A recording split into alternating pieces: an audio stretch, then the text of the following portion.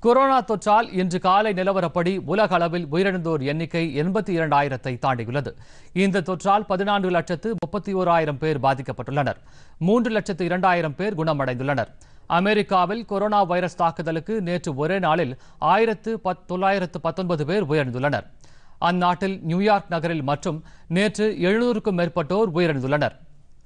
நேற்று ஒரே நாளில் அமெரிக்காவில் இருபத்தி எட்டாயிரத்திற்கும் மேற்பட்டோருக்கு இந்த தொற்று உறுதி செய்யப்பட்டுள்ளது. அந்நாட்டில் பாதிக்கப்பட்டுள்ளோரின் எண்ணிக்கை நான்கு லட்சத்தை தாண்டியுள்ளது. உயிரிழந்தவர்களின் எண்ணிக்கை பனிரெண்டாயிரத்து எண்ணூற்று நாற்பத்தி ஒன்றாக உயர்ந்துள்ளது. ஸ்பெயினில் இந்த தொற்றால் ஒரு லட்சத்து நாற்பத்தி ஓராயிரம் பேர் பாதிக்கப்பட்டுள்ள நிலையில் பதினான்காயிரம் பேர் உயிரிழந்துள்ளனர். இத்தாலியில் ஒரு லட்சத்து முப்பத்தி ஐந்தாயிரம் பேர் பாதிக்கப்பட்டுள்ளனர். பதினேழாயிரத்து நூற்றி இருபத்தி ஏழு பேர் உயிரிழந்துள்ளனர்.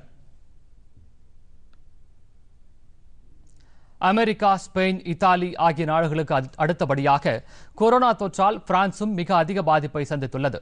அந்நாட்டில் ஒரு லட்சத்து ஒன்பதாயிரம் பேர் இந்த தொற்றால் பாதிக்கப்பட்டுள்ள நிலையில் உயிரிழப்பு பத்தாயிரத்தை தாண்டியுள்ளது. பிரான்சில் ஒரே நாளில் நானூறுக்கும் மேற்பட்டோர் உயிரிழந்தனர். ஜப்பானில் கொரோனா தொற்றால் நான்காயிரத்து இருநூற்றி ஐம்பத்தி ஏழு பேர் பாதிக்கப்பட்டுள்ளனர். அந்நாட்டில் தொன்னூற்று மூன்று பேர் உயிரிழந்துள்ளனர். இந்த தொற்றை கட்டுப்படுத்த தலைநகர் டோக்கியோ உள்ளிட்ட அந்நாட்டின் ஆறு முக்கிய பகுதிகளுக்கு பிரதமர் ஷின்சோ அபே அவசர நிலையை பிரகடனம் செய்துள்ளார். அண்டை நாடான பாகிஸ்தானில் ஒரே நாளில் ஐநூறுக்கும் மேற்பட்டவர்களுக்கு இந்த தொற்று உறுதி செய்யப்பட்டதை அடுத்து அந்நாட்டில் பாதிக்கப்பட்டவர்களின் எண்ணிக்கை மூவாயிரத்து எண்ணூறை தாண்டியுள்ளது. அந்நாட்டில் இந்த தொற்றுக்கு இதுவரை ஐம்பத்தி நான்கு பேர் உயிரிழந்துள்ளனர். டென்மார்க்கில் ஐயாயிரத்திற்கும் மேற்பட்டோர் கொரோனா வைரஸ் தொற்றால் பாதிக்கப்பட்டுள்ளனர் என்றும் அவர்களில் இருநூற்றி மூன்று பேர் உயிரிழந்துள்ளனர். அங்கு தொற்று ஓரளவு கட்டுப்படுத்தப்பட்டுள்ளதாகவும் இதையடுத்து கட்டுப்பாடுகள் படிப்படியாக தளர்த்தப்படுவதாகவும் டென்மார்க் அரசு கூறியுள்ளது.